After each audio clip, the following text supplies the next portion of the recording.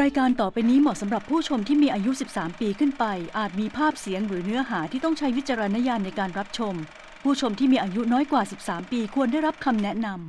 ำ แต่ทำไมอะไรที่มันเกี่ยวกับความรัก ชอบทำให้เราหนักอกและหนักใจ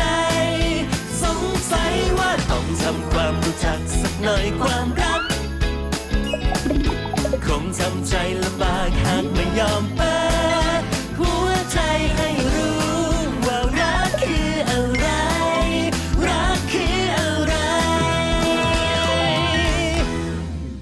มชูรักชูรสโดย สิงค o r p o r a t i o n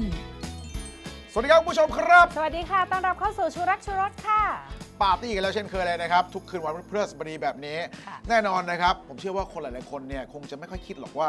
ปัญหาเรื่องของความรักหรือเรื่องเซ็กส์เนี่ยมันจะเกิดขึ้นกับตัวเราเอง ค่ะ แต่แน่นอนครับถ้ามันเกิดขึ้นแล้วทิ้งไว้ไม่ได้ต้องรีบแก้นะครับ บางคนตันไม่รู้จะไปแก้ไขยังไงอืมส่งคำถามเข้ามาทางรายการของเราได้ครับ ใช้รายการชูรักชูรสเนี่ยเปรียบเสมือนสำหรับคลินิกสำหรับคุณผู้ชมทางบ้านได้เลยครับ โดยเฉพาะสาวๆ ค่ะที่มีปัญหาเรื่องของสุขภาพทางเพศ คืนนี้ห้ามพลาดนะคะ ติวรักเต็มร้อยของเรา อยู่กับแพทย์ผู้เชี่ยวชาญด้านสุขภาพสตรีค่ะสำหรับช่วงนี้นะครับอดใจร้อนปัดหนึ่งชมไฮไลท์ก่อน ช่วงหน้ากลับมาสนุกกันชูรักชูรสครับ น้องอายุ 27ครับค่ะ โสด โสดอวบประจำเดือนไม่สม่ำเสมอครับค่ะลอยมาจากตำราเลย เป็นโรคชนิดหนึ่ง PCOS